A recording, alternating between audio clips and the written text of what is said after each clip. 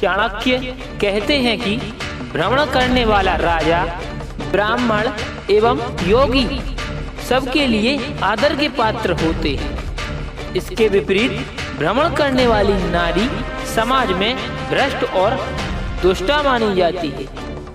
इस संदर्भ में विस्तृत वर्णन करते हुए कहते हैं कि क्योंकि राजा का कर्तव्य है कि वह अपनी प्रजा के दुख, दर्द एवं परेशानियों को जाने। उसके अधीनस्थ अधिकारी प्रजा के प्रति किस प्रकार व्यवहार करते हैं? उनकी भलाई के लिए कौन कौन से उचित प्रयास कर रहे हैं? ये सब जानना राजा के लिए अत्यंत आवश्यक होता है।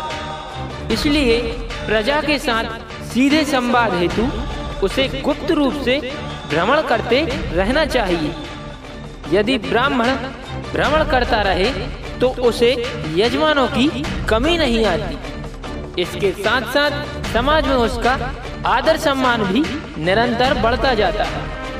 साधु संतों एवं योगियों का भ्रमण उनके ज्ञान और विवेक को जन जन तक पहुँचाने का माध्यम बनता है।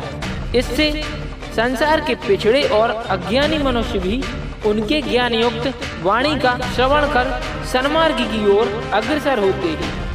लेकिन नारी के लिए अनावश्यक भ्रमण नरक की ओर ले जाने वाला होता है। दीनहीन एवं साधन रहित नारी गलत संगति में पड़कर अपना चरित्र और सम्मान दोनों गवा बैठती है। इसलिए स्त्रियों को अनावश्यक भ्रमण की प्रवृत्ति से दूर रहना चाहिए।